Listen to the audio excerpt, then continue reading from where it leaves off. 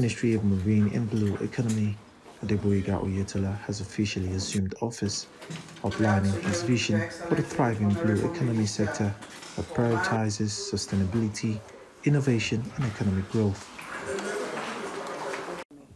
Oyetola also acknowledged the abundance of marine resources that exists within the coastal region and emphasized the need to fully harness them for economic gains.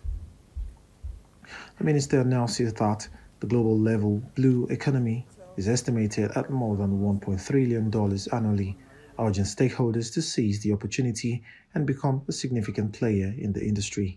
Experts say that the blue economy is estimated to be worth more than $3 trillion globally. Therefore, given our size as a country and considering the size of our blue economy, we should be a significant player in this sector so as to contribute immensely to the revenue generations of our country and provide jobs for the unemployed.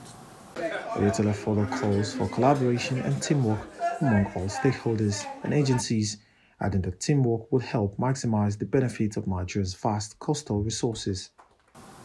We must come up with practicable ways of ensuring that our inland rivers, lakes, and waterways are well utilized, both in terms of cargo shipment and passenger transportation.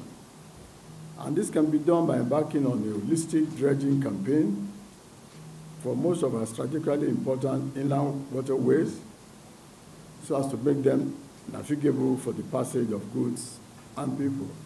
He added that part of his vision is to ensure that inland rivers, lakes, and waterways are well utilized, both in terms of cargo shipment and passenger transportation.